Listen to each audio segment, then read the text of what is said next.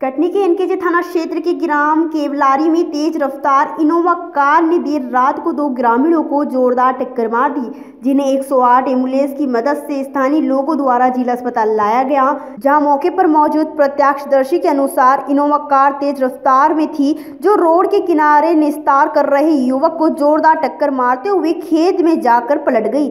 जानकारी के मुताबिक एक युवक की हाथ पैर में गंभीर चोट आई है और एक ग्रामीण युवक नरेश कुमार कोल की मौत होना बताया गया है।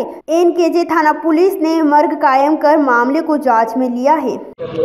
मैं घर में था, मुझे घर में पता चला कि रवि के दुकान पास मिंटू अनवर उर्फ़ मिंटू सलैया तरफ़ से गाड़ी लेकर के आया और रवि की दुकान के पास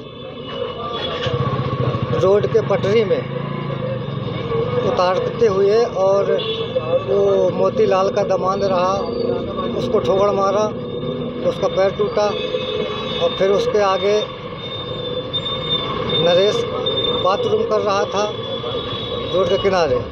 उसको भी जम के ठोकर मारा जिसमें से नरेश गाड़ी का नंबर बता सकता हूँ नाम नहीं जानता। क्या नंबर? एम पी बीस एम वी ज़ीरो आठ सौ अस्सी। कैलाशपुर पारिवारिक चाचा हूँ मैं उसका मृतक का। ये लगभग साढ़े नौ दस बजे के लगभग। अब ये मैं नहीं बता सकता। सर जानकारी ये लगी कि एक कार से एक्सीडेंट हो गया है।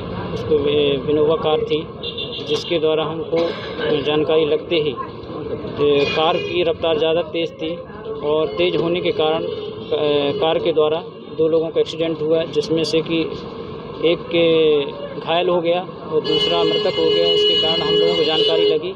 लगते ही हम लोगों ने वहाँ उपस्थित हुए और कार जा कर के पलट गई। इसके बाद हम लोगों ने का एंबुलेंस में 108 पे ला करके हॉस्पिटल पे कराया गया, जिसमें से कि एक घायल थे और एक मृतक। उनका नाम नरेश कुमार कोल मृतक। चेरे भाई लगते नहीं सर, ऐसी कोई जानकारी नहीं। मैं सुरेश कुमार कोल लिखता हूँ तो हम आए थे दुकान लेने तो वहीं खड़े थे।